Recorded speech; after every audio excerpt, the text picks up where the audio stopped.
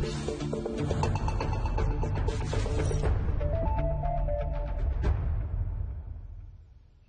شكرا لك رولا وأسعد الله صباحكم مشاهدينا أهلا بكم إلى هذه النافذة المباشرة من واشنطن. نتابع فيها تغطية السباق الانتخابي في الولايات المتحدة. كما ذكرت رولا أكثر من 56 مليون ناخب أدلوا بالفعل بأصواتهم في هذه الانتخابات بشكل مبكر. ومن المنتظر أن يرتفع هذا العدد بشكل كبير قبل يوم الثالث من نوفمبر المقبل. أما فيما يتعلق بالسباق الانتخابي والحملة الانتخابية فقد أقام الرئيس الأمريكي دونالد ترامب ثلاثة تجمعات انتخابية في كارولاينا الشمالية وأوهايو وويسكونسن أيضا وذلك بهدف تعزيز حظوظه في الظفر بولاية ثانية في البيت الأبيض.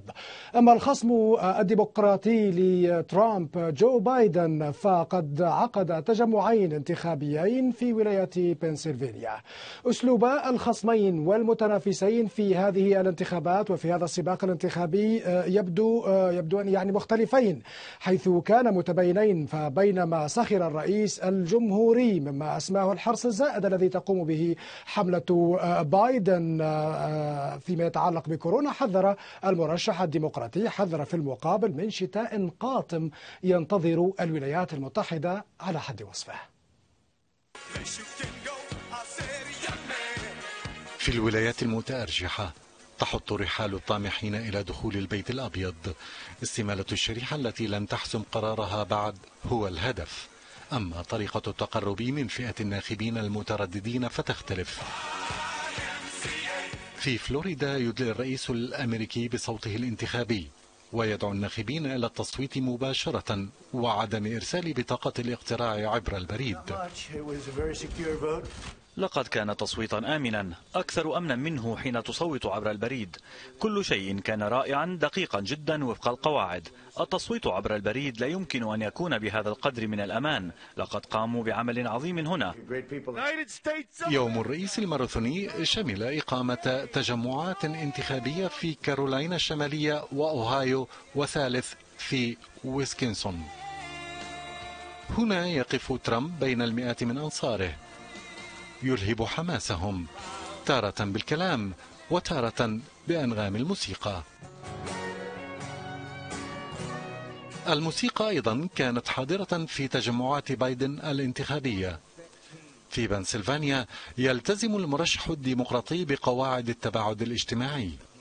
يحذر أنصاره الذين مكثوا في السيارات بأن الشتاء القادم قاتم. خلال المناظرة مساء الخميس قال دونالد ترامب إن كورونا يختفي ونتعلم كيف نتعايش معه. حسنا لقد أخبرته في المناظرة بأننا لا نتعلم كيف نتعايش معه لكنك تطلب منا أن نتعلم كيف نموت معه وهذا خطأ. ومن مدينة ميامي خطب الرئيس السابق باراك أوباما دعما لبايدن ووجه اتهامات إلى ترامب. يقول إنه أخفق كليا في إدارة أزمة كوفيد 19 بعد مرور ثمانية أشهر على هذا الوباء حطمت الحالات الجديدة الأرقام القياسية. لن يقوم دونالد ترامب بحمايتنا فجأة فهو لا يستطيع اتخاذ الخطوات الأساسية لحماية نفسه. رسائل متباينة بين ترامب وبايدن إلى أنصارهما ومؤشرات استطلاع الرأي ما زالت تؤكد تقدم بايدن لكن النسب أكثر تقاربا بينهما في ولايات مهمة قد تحسم الصراع على كرسي البيت الأبيض.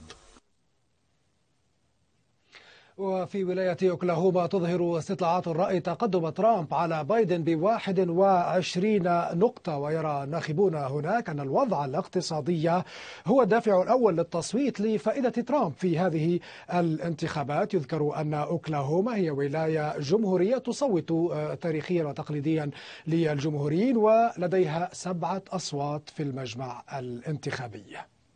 للمزيد تنضم إلينا من مدينة أوكلاهوما سيتي مراسلتنا ريما أبو حمدية ريما كما ذكرنا هذه الولاية تاريخية يعني تصوت تاريخية تصوت للجمهوريين ولكن هناك تأييد كبير لترامب في هذه الولاية في هذه الانتخابات هل هو فعلا الدافع الاقتصادي الذي يدفع الناس لتأييد ترامب أم توجد دوافع أخرى؟ يعني الدافع الأول للناخبين هنا في هذه الولاية الجمهورية التي يتقدم فيها ترامب بشكل كبير أكثر من 20 نقطة وفق بعض استطلاعات الرأي هو الدافع الاقتصادي. كل من تحدثنا معهم سواء كانوا مع ترامب أيديولوجيا أم مع ترامب فقط لهذه الانتخابات لهذه الدورة من الانتخابات قالوا أن السبب الرئيسي وراء تصويتهم للرئيس الأمريكي دونالد ترامب هو بسبب الاقتصاد. يريدون من دونالد ترامب رجل الأعمال كما يقولون أن ينعش الاقتصاد المتهاوي بسبب تفشي جائحة كورونا بشكل كبير في الولايات المتحدة. هذا التهاوي في الاقتصاد كما يقولون لا يمكن لأي أحد آخر أن ينتشله من هذه الهاوية سوى رجل أعمال مثل دونالد ترامب. طبعا على النقيض هناك أيضا المعارضون للرئيس الأمريكي وإن كانوا قلة في هذه الولاية نحو 38% فقط يؤيدون المرشح الديمقراطي جو بايدن. ولكن يقولون لن تأتي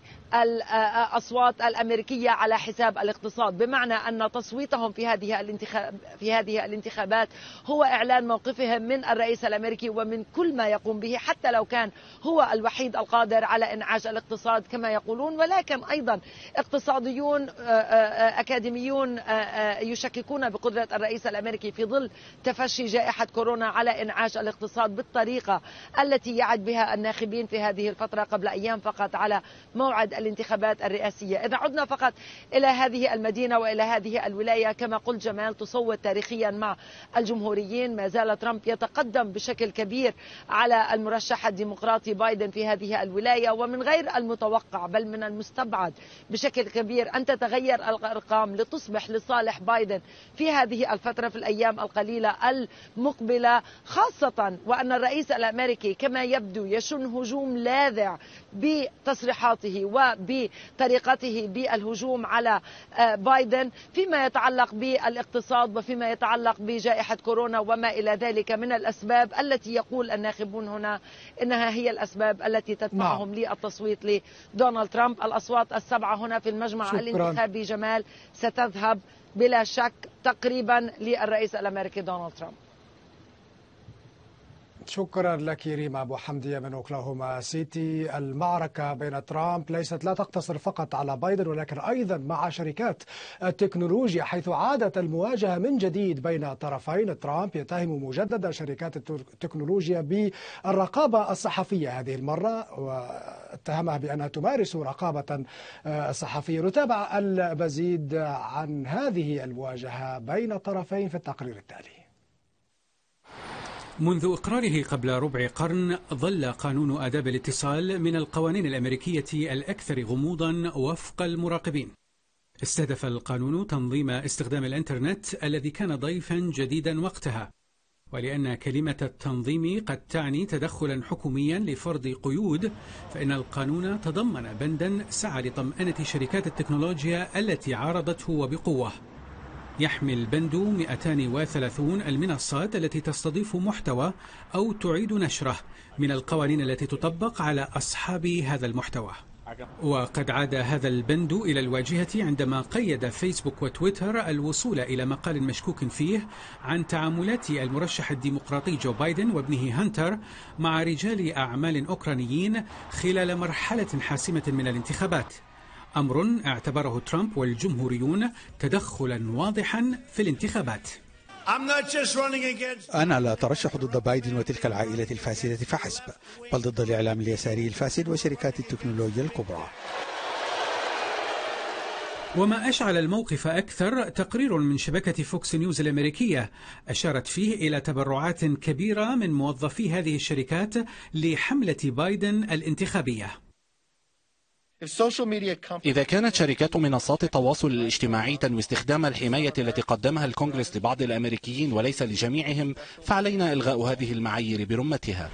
شركات جوجل وفيسبوك وتويتر حذرت مسبقا من المساس بهذا البند الذي تقول إنه صاحب الفضل في وجودها اليوم وهي تواصل التحرك بكثافة لإزالة المعلومات التي تعتبرها مضللة ومؤثرة على الناخبين ونتيجة الانتخابات.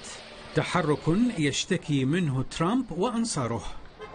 الجمهوريون قرروا نقل المواجهة إلى مجلس الشيوخ. في نهاية الشهر الجاري ستكون أمام مدراء جوجل وفيسبوك وتويتر فرصة الدفاع عن شركاتهم أمام الاتهامات الموجهة لهم وإعلان موقفهم من التعديلات التشريعية المنتظرة. زيد بن يامين العربي واشنطن. وفي أعالي ولاية إيداهو آه، أو في آه، أعالي جبال ولاية إيداهو مدينة صغيرة تدعى موسكو. هذه المدينة معروفة بمعارضتها للرئيس ترامب ورغم التأثير أو التأييد الكبير لترامب في هذه الولاية إلا أن هذه المدينة تحديدا صوتت ضده في الانتخابات السابقة ويتوقع أن تصوت أيضا ضده في هذه الانتخابات وأن تصوت للمرشح الديمقراطي. فريق العربي زار المدينة واستطلع آراء الناس هناك. نتابع. هنا موسكو. مدينة هادئة في أقاصي جبال ولاية أيداهو. فوز دونالد ترامب شبه مضمون في هذه الولاية وفق الاستطلاعات لكن موسكو ستكون مصدر إزعاج مؤكد له. دخلنا المدينة لنسأل عما إذا كان لاسمها أي علاقة بذلك. لا إطلاقا في غالب الأحيان أصحح الطريقة التي ينطق بها الناس اسم المدينة. هم يقولون موسكو وأنا أقول موسكو. لا أعتقد أن للسم علاقة بروسيا رغم أنه أمر غريب أننا أخذنا الاسم نفسه. اكتسح ترامب ولاية أيداهو عام 2016 لكنه عجز عن اختراق مدينتين فقط فيها أكبرهما موسكو. النتيجة نفسها متوقعة العام الحالي. أشعر أن دونالد ترامب شبيه برؤساء المرحلة ما بعد السوفيتية بدلا من أن يكون رئيسا لدولة ليبرالية ديمقراطية. وجود جامعات ومراكز ثقافية في موسكو يجعل ناخبيها أقرب إلى التيارات الليبرالية واليسارية. لكن البعض هنا يعترض على المرشحين المتنافسين معا. كلاهما طاعن في السن ولا أرى أن البلاد ممثلة بطريقة مناسبة مع أي منهما. القواسم المشتركة بين هذه المدينة والعاصمة الروسية تكاد تكون منعدمة لكن تراشق الاتهامات بين الحزبين المتنافسين بوجود علاقة ملتبسة مع روسيا يبقي موسكو في قلب السجال الانتخابي. هنا ثبت لنا بالدليل القاطع أن موسكو تتلاعب حقا بالانتخابات الأمريكية.